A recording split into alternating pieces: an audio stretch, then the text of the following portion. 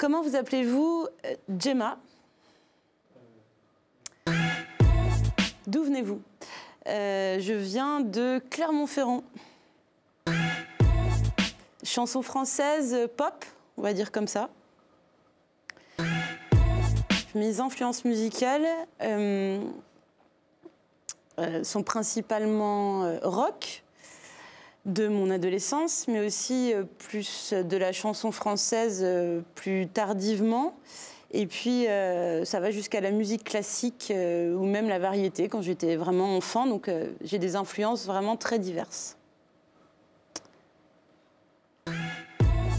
Un rêve simple, hein, basique, des scènes normales.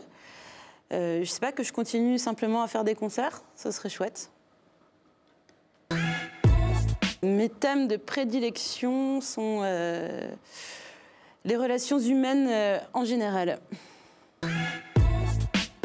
Dans dix ans, vous serez qui? Et si je le savais? Donc, euh, aucune idée. Voilà. Et c'est fini.